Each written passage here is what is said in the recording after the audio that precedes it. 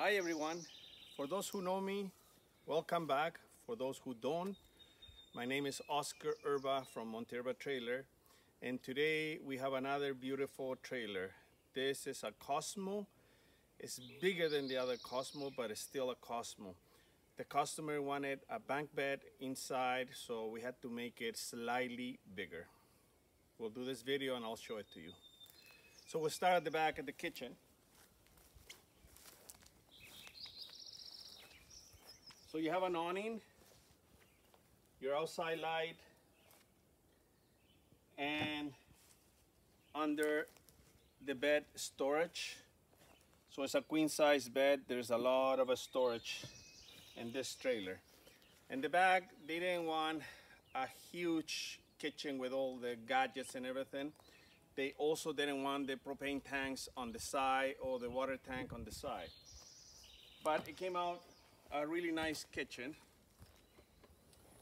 So this kitchen has 110 plug-in, phone charger, and your stove. The stove you can remove out of here, put on a picnic table. It gives you counter space and storage so you can put all your uh, equipment and stuff. On the inside of this trailer, um, we I'm gonna show you the bank beds. And uh, you of course you have your uh, mosquito screen and everything like every other trailer. And uh, as my wife is uh, doing the video right now you can see the bank bed. I'm turning the lights on. So there's two lights one for each kid. And uh, the top one, of course, has the window. The bottom one, it doesn't. There's not enough room for everything, so we try to do our best. On this side of the trailer is the queen size bed. You also have a adjustable table that you can move in and out whichever way you want to. And if you don't want the, the, the table here, you just can pull it out and remove it completely storage space in the back for hers and uh, his.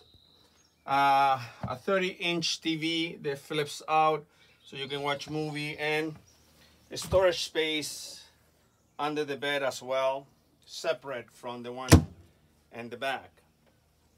You also, on this trailer, have a porta potty. They didn't want a fancy washroom, they just needed a porta potty and the room so they can do their necessities.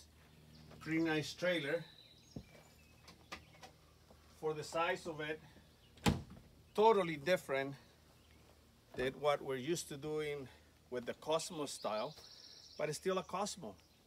So remember, if you want one, if it's not Monterba trailer, it's just imitation.